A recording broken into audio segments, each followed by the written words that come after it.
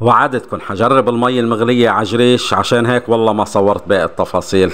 400 جرام جريش. آه، بنغلي لهم 600 هلا هو 400 بكفيهم. ولكن المي زيادة بنرجع بنقدر نستفيد منها لاحقا.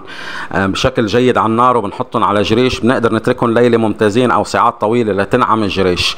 هيدي الخلطة أنا حطيت لها 600 جرام فقط أسمر. ولكن تلتين بتلت أجمل. يعني 800 جرام أسمر إذا حطيته حتلاقوا على نتيجة كبع أجمل من هيك بعد.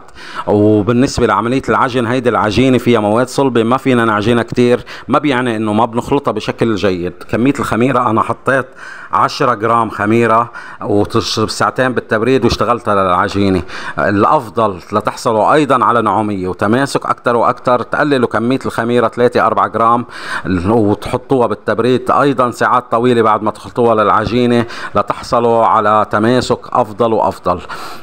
قطر أنا حطيت سميك 40 جرام أفضل من السكر بيساعدنا بسرعة التلوين وبحبس الرطوبة ممتاز. وبالنسبة لرشة الملح اللي استغنيت أنا عنها لا وجودها كان أفضل بيقدر يرفع الطعام أجمل وأجمل رغم إنه طيب كتير.